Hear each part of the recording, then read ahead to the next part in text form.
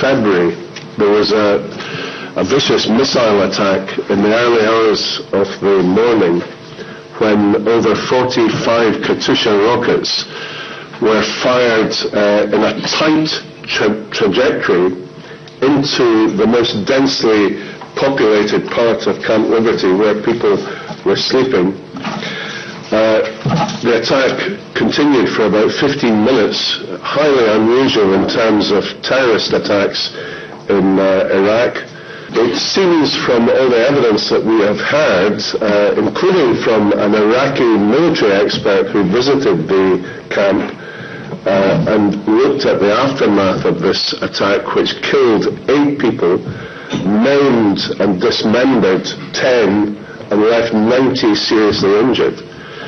The Iraqi military expert uh, said that these Katyusha rockets must have been fired from around 3.5 kilometers distance, which is well within the security compound that surrounds Camp Liberty, and could only possibly have been done with the full cooperation of the Iraqi government themselves.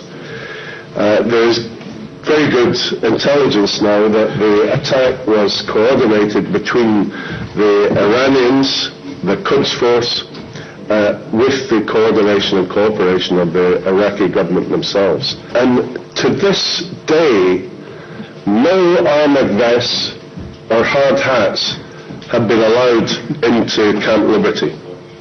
And I have to ask the question, why not?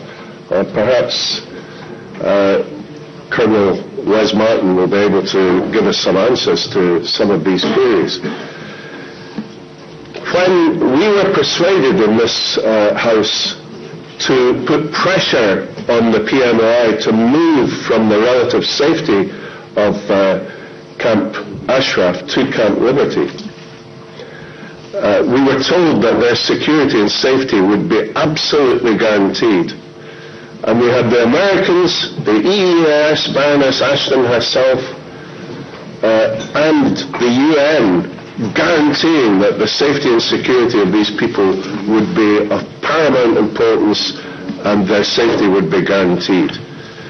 We were shown, uh, I remember Alejo Vidal Quadras and I were shown by uh, the uh, special representative of the United Nations Secretary General, Martin Kobler, uh, a huge book of photographs of Camp Liberty. And our conclusion after seeing these photographs was, well, you know, this looks like a, a very uh, good place for these people to move to. It's only half a square kilometre, it's very small, but we were assured that there would be a revolving door scenario where the people moving from uh, Ashraf to Liberty would be uh, interviewed, assessed for refugee status, given their refugee uh, status, and then immediately resettled to third countries. Uh, I was told by uh, Antonio Guterres himself, the uh, Secretary General of the UNHCR, that this revolving door scenario would operate, and that meanwhile the people would be expected only to stay in Camp Liberty for a very short period of time. I can tell you now that in uh, more than uh, a year, more people have left uh, Camp Liberty in body bags than have been resettled. It is absolutely outrageous. So we were deceived we discovered that the book of photographs which we were shown by Martin Kobler had been photoshopped and doctored with the staff of UNAMI, and you'll hear this from Tahar Boumedra, the staff at UNAMI repeatedly told that the quality of the photographs was not good enough and they had to be improved and improved again and again and photoshopped and all evidence of any uh, deterioration removed from these photographs. We were deceived in that respect. And we then put pressure on the people of Camp Ashraf to move to Camp Liberty, guaranteeing their safety. They have now been viciously attacked, eight of them dead, and I feel partly responsible for that.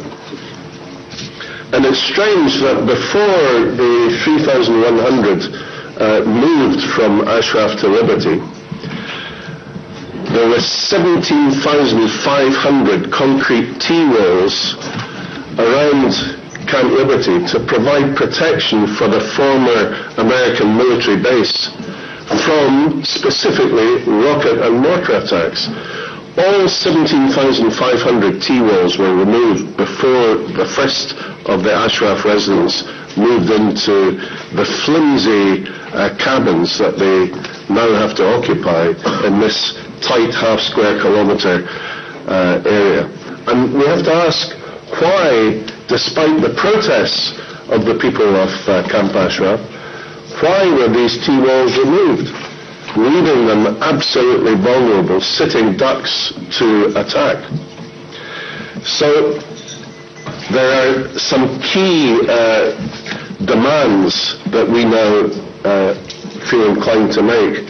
First of all, the T-walls have to be restored immediately. Uh, their armoured vests and hard hats, which lying in Camp Ashraf, it would take one small truck to transport them to Camp Liberty. They must immediately, today, be taken to uh, Camp Liberty. Uh, medical equipment must be uh, given access to Camp Liberty. They were denied the right to take their medical equipment from uh, Camp Ashraf to Camp Liberty.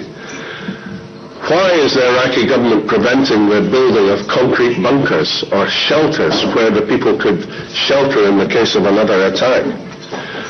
Why, when Martin Kobler agreed that the uh, ground space of half a square kilometre could be extended by an additional two and a half square kilometres, the space is there, it's empty, it's vacant he had lived up to his pledge, which he gave face to face in Paris, there would have been fewer casualties on the 9th of February because they would have been more widely dispersed within a two and a half to three kilometre uh, square area. Why has that pledge not been fulfilled? Seriously now, I have to question why Martin Kobler is putting pressure on uh, the residents of Camp Liberty to return to business as usual. He is pleading with the international community to put pressure on them to resume the interview process with uh, UNHCR for their refugee status as if nothing has happened, as if there had been no uh, attack on the 9th of February, no one had died. Business as usual, let's get back to uh, business.